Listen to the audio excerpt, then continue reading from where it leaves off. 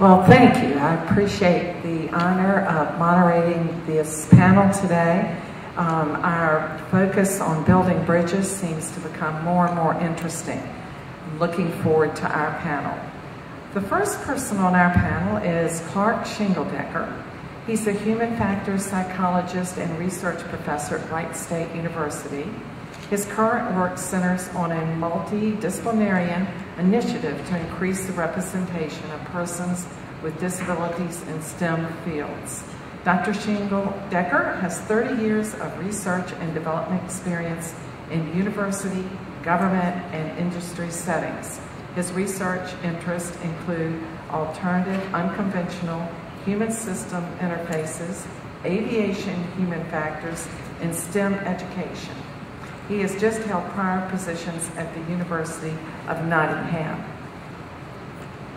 To keep the flow going, I am going to introduce the three panelists. Our next panelist, Lynn Weston from Marshall University, is a member of Marshall University's Higher Education Learning Problems, HELP, the acronym H-E-L-P. She has been there for 17 years and is the program's new director. The mission of Marshall's HELP started in 1981 and is to provide assistance through individual tutoring, mentoring, and support, as well as fair and legal access to educational opportunities for students diagnosed with learning disabilities. Weston received her undergraduate degree in special education and elementary education from Marshall and her master's in education from the University of North Carolina at Charlotte. She later became certified in learning disabilities at Marshall, and she's currently working on her doctorate degree in leadership studies higher education. I think many of us are familiar with our third panelist, and that would be Janet Sellers. She is also with Langley Research Center. She is in the Equal uh, Employment Opportunity Office. That is the Office of Equal Opportunity Programs at NASA Langley. She has a distinguished military and academic career as well as her current profession. She completed her undergraduate at the University of the State of New York and received her master's from the University of Oklahoma. She has also worked as a paralegal for the U.S. Air Force and a college administrator. Thank you, and I will look forward to our first presentation, Dr. Um, Shingledecker.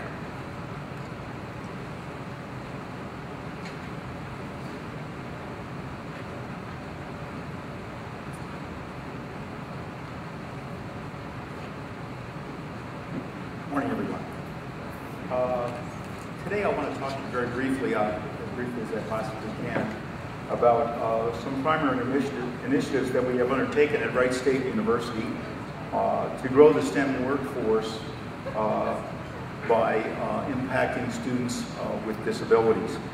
Uh, and once I talk about those programs, I want to end up with a little bit on how the OSAA scholars, some of our students at Wright State, and students with disabilities and other STEM programs around the country might become better connected to NASA and other providers of internships and, and employment.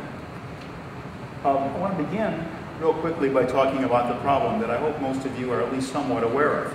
It's pretty straightforward. Too few people with disabilities uh, actually pursue post-secondary education, that is, and go into college. Uh, fewer still uh, enter the STEM fields, uh, and those who do enter the STEM fields uh, often face significant barriers to success. We talked a little bit about that persistence problem this morning. That is a problem with students with disabilities. Uh, here's the numbers, some of the data. These are typical data. Uh, if you look at the percentage of uh, students with disabilities that go to college, they run around around half. That's improving. Uh, there are more students with disabilities now coming into associates programs, and they tend to be almost equivalent to the numbers of students without disabilities that go into those. But uh, in a bachelor's program, uh, you can see we're down to a third, and we're even fewer on STEM majors. This also speaks a little bit to how few people go into STEM majors in general. But you can see uh, students with disabilities fall well below that. At Wright State University, uh, we've uh, attempted to address this disparity uh, which in fact impacts directly the uh, competitiveness, the scientific and engineering competitiveness of the country with some fairly aggressive programs. And let me briefly tell you about who we are. A lot of people don't know who Wright State is or where we are. Uh, we are a mid-sized research university located in Dayton, Ohio. We're named after uh, some STEM pioneers of our country. That is the Orville and Wilbur Wright, uh, who called Dayton their home and actually really learned to fly in Dayton, sorry, North Carolina. But uh, we have approximately just under 20,000 undergrad and grad students in nine schools and colleges. There's 91 bachelor's degrees, 76 graduate professional degree programs, including in engineering and sciences, and there's also a medical school at Wright State. Uh, so we're out there. Uh, one of the things that Wright State is happens to be known for, and I won't go into a long story about it, is its Office of Disability Services, which, although your program says I'm from that office, I'm very closely associated with them. I'm actually from the uh, science and engineering side of the house. But uh, the Office of Disability Services wouldn't, we wouldn't be doing what we're doing without them. They're nationally recognized for a very broad-ranging program that goes well beyond uh, requirements of ADA to serve students with disabilities. We have a, a large number of disabilities with uh, students with disabilities, physical disabilities, uh, that probably may not be in college if they weren't at Wright State because of some of the services provided. Uh, but we have all types of disabilities, about 500 served annually. And the programs within that office are very much focused on independence and employment.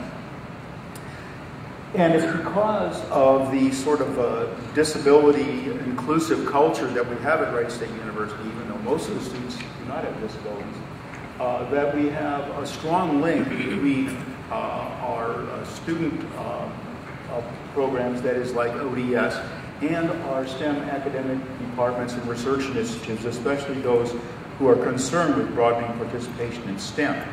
And that's really where my work comes from. Uh, our STEM initiatives are primarily aimed at the same initiative, the same goals as we have here at this conference. Uh, that is, what we want to do is increase the number of students with disabilities that go into post-secondary education, primarily bachelor's programs, and uh, pursue careers in STEM disciplines. And I want to briefly talk about our, our approach to this because this is something that we've spent a lot of time trying to develop. Uh, although I, I, presume that you'll find them largely in, um, intuitive. One of the things that we like to do is to make sure that all of the interventions that we introduce are barrier focused. Uh, and let me show you specifically what I mean by that. We have a very simple model of the kinds of barriers that, to success that students with disabilities have regardless of the level that they enter into uh, STEM interest. Uh, and uh, this model, you can probably look at it and say, you know, we don't focus specifically, although you see them in here, on the nature of disability, but rather those common problems that uh, many underrepresented students have in, in succeeding in STEM fields and in college in general.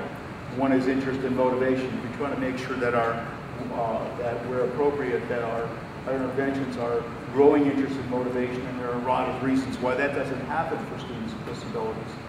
Uh, we also look at opportunity, and that is not just the opportunity provided within the university or provided by employers, but also that self-imposed opportunity, and the opportunity limitations imposed by parents and teachers sometimes. Uh, oops.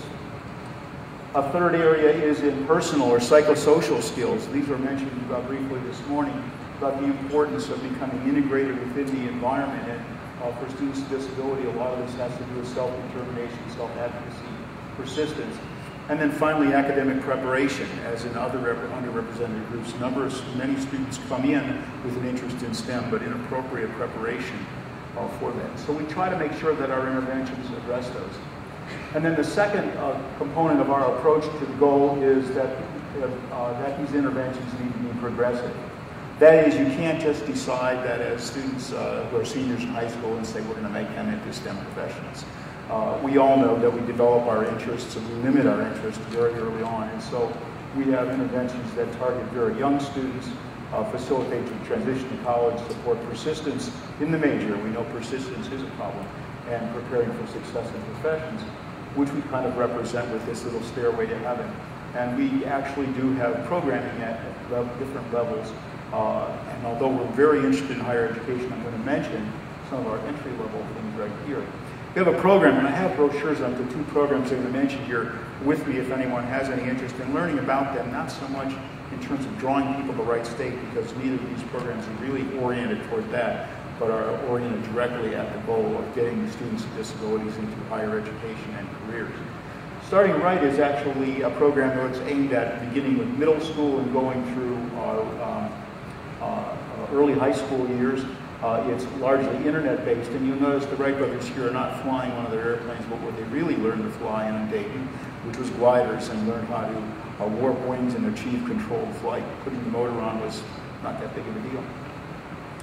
Uh, the Starting Right program is essentially internet-based, where our objectives are to raise interest in STEM as a viable educational focus and career option for students with disabilities, and to help them build personal skills and promote academic preparation. We do live webcasts uh, to students with disabilities.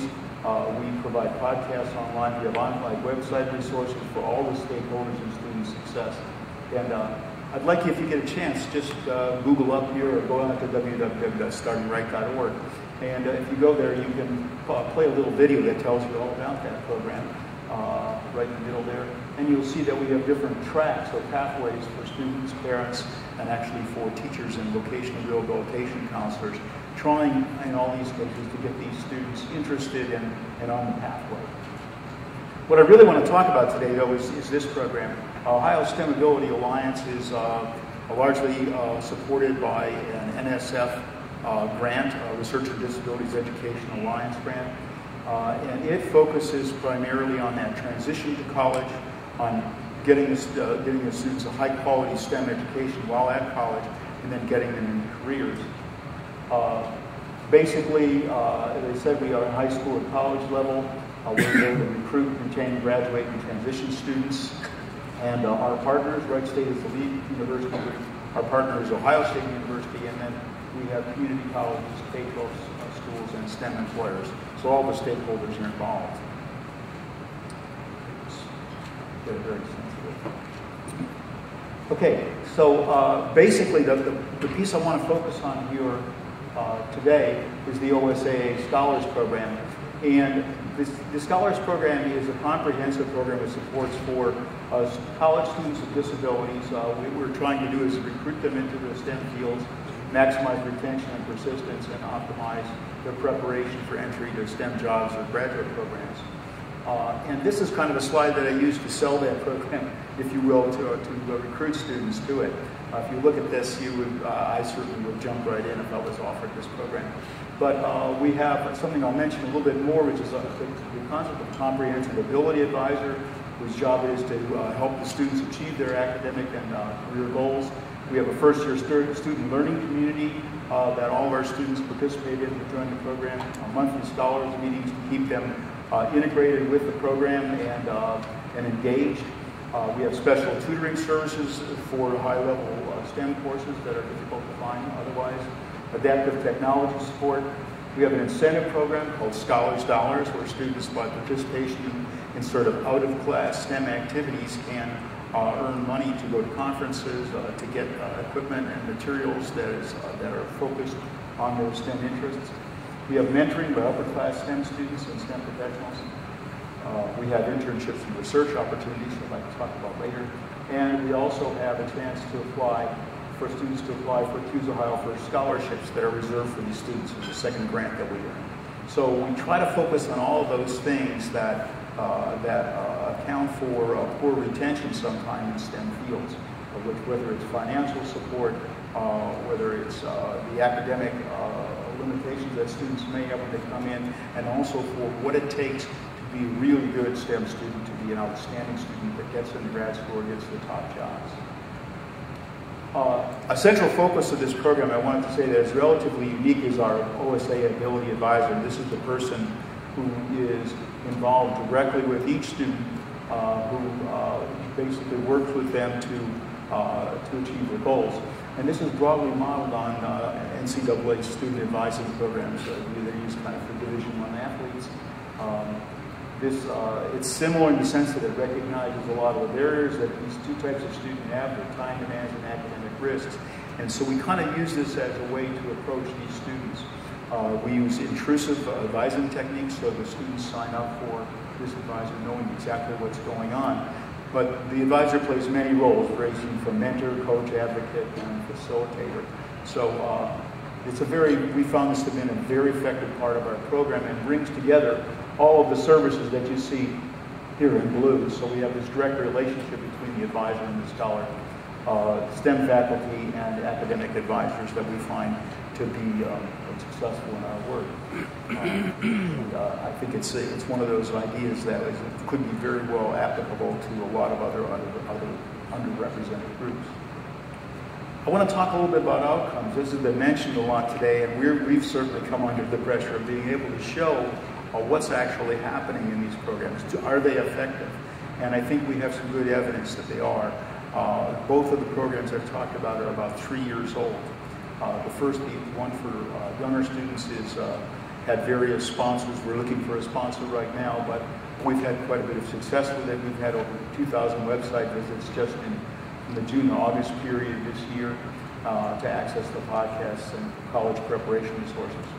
Uh, we actively recruit these students to follow on OSAA interventions in a, in a, um, summer campus uh, visit program. Essentially, it's, a, it's it is sort of a college boot camp that we do a five-day camp called Diversibility U. And we've had 11 students from that program uh, come into uh, Diversibility U and go on to majors at Wright State.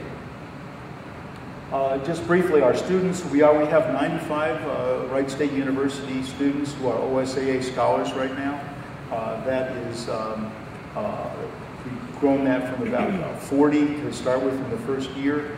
Uh, you can see over on the left what majors they're in. They're kind of split between the science, School of Science and Math, College of Science and Mathematics, and the College of Engineering and Computer Science. and you can see the wide range of disabilities that, that we try to cover. Uh, we have, you can see about a quarter of our students are, uh, have physical disabilities uh, that are orthopedic in nature. We have students with um, sensory disabilities, hard of hearing, vision, but you see the full range of non-visible disabilities, psychiatric, ADHD, uh, specific learning disabilities, and so on. So we address all these students in this program briefly, some ideas of indicators. This is a, gives you some baseline uh, impact on STEM enrollment. What you see here is the percent of students with disabilities at Wright State University over uh, years uh, at the university starting in 2006. And you can see that just under 30% of students uh, uh, uh, were enrolled in STEM majors at Wright State. you can see where OSAA recruitment started, and we have had a nice increase. The blue line at the bottom is the actual uh, percentage of students who are actually OSAA STEM scholars. So there's been uh, what we can say a correlation, and we'd like to call it an impact. Uh, forgetting too much about the words, essentially this is a, what are we seeing in terms of retention and graduation. We're a little early to get our first graduates, although we do have some. But just to give you an idea about the retention problem, if you go nationally for four-year college students, the, the, number of students who persist to graduation ranges from about 42 to 54 percent. That's not even in STEM. And at Wright State, overall, we get about a, a one-year persistence of 71 percent and two-year 56. You see our OSAA scholars, these are students with disabilities in STEM, uh, so this under, uh, underestimates that. You can see that one year we're getting uh, 90 to almost 100 percent, and for two year, 70 percent. So we look like we're on track to increasing graduates, and that's what our real goal is. So far, we've got 10 graduates, uh, two in grad school and two preparing for grad school. So that kind of gives you an overview of our program. As I said, we have two brochures. I just want to talk briefly about our needs. I talked about our needs to increase engagement and partnerships out there in the industry, in the government, uh, to get our students those kind of uh, vital uh, internships and research experiences this is something where we, we certainly need to grow. Uh, we think there are mutual benefits here with the STEM institutions providing essential internships and research experiences. And OSAA provides uh, both uh, mentors and, and uh, internship providers with uh, accommodations, assistance, and disability awareness. So it's kind of, we're looking to prepare you to accept these students, but also to make it easier for you to see how students with disabilities might come in and contribute to your workforce. The outcomes, of course, is that we get uh, well-prepared students for the R&D workforce. This is what makes the difference, as we all know, internships and research experiences. Between the student who just gets a degree and the student who's ready for a career. Uh, and we think that the opposite effect is that we have employers who are eagerly ready for those workers to come in and uh, make a strong contribution. So uh, we would definitely like to be in contact with you all and anyone who has interest in our programs. As again, we aren't just interested in recruiting people to Wright State, but to the overall problem that this conference is devoted to. And so these are our two programs, and that's my web address down there. Any questions for the end? Okay.